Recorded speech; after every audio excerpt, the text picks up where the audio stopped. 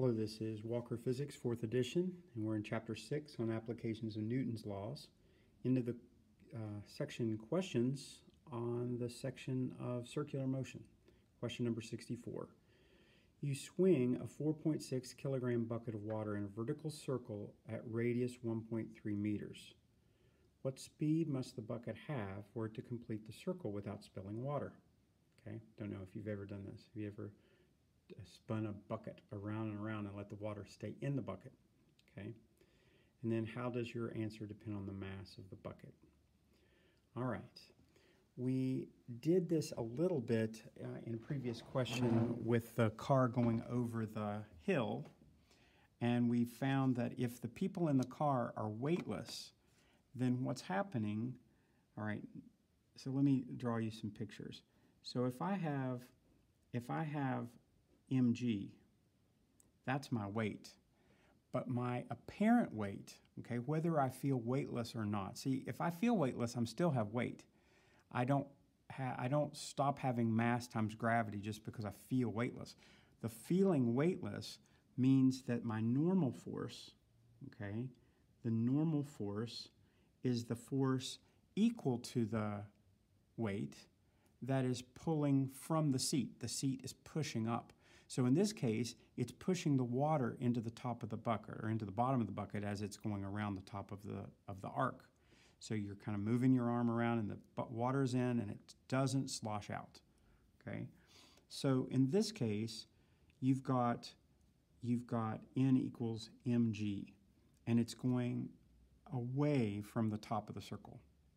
Your, your um, centripetal force is always acting towards the center of the circle. Okay? When these two balance, when these two are exactly the same, you feel weightless because you've got your full mass times gravity divided by or subtracting minus your centripetal force. When this equals zero, you feel weightless. Okay, so that's what's happening. So in the in the case of weightlessness, um, you th this is equal to m times centripetal acceleration. Well, that means that in the case of weightlessness, your gravity is being is equal to your acceler uh, to your centripetal acceleration, and then when it subtracts, it goes down to zero, and you don't feel any force on the seat. Okay, that's what's happening. So if you have a bucket that's going around an arc, so here's the handle the bucket, and here's the bucket. And I've got some water in the bucket.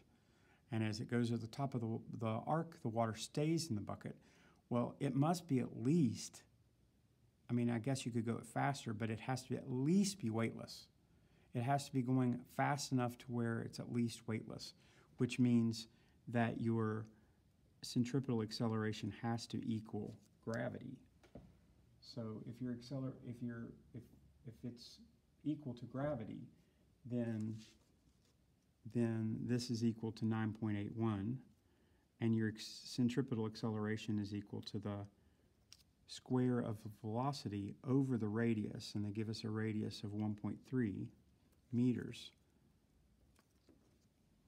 So the, the math is actually pretty simple. This is just going to be 9.81 times 1.3 square root of that and I get V equals 3.57, two, two significant digits, so 3.6 meters per second. So this is A. And then your second question is, what if you had a bigger bucket? Like if I do a small bucket over my head like this, or a bigger bucket over my head, is it still going to fall out, or will it fall out if it's bigger or less? And just from your experience, it doesn't matter how much water's in that bucket as long as you can lift it. If you can lift that water, you can sling it and it'll stay in the bucket. So it must not have anything to do with the mass. But why? All right, let's look here. Do you see that the masses are going to cancel? And then the, if your acceleration is equal to your gravity, it subtracts, and so it goes to zero. So your force is equal to zero independent of the mass. Doesn't matter because the masses are going to cancel anyway. so it, so it really doesn't matter, okay? I guess if you want to write something, I would say, um, you could say G minus centripetal force times M equals centripetal force, or, um, this is zero, that means your force is zero. Okay? Not sure exactly what to say, but that's a good guess. All right, thank you.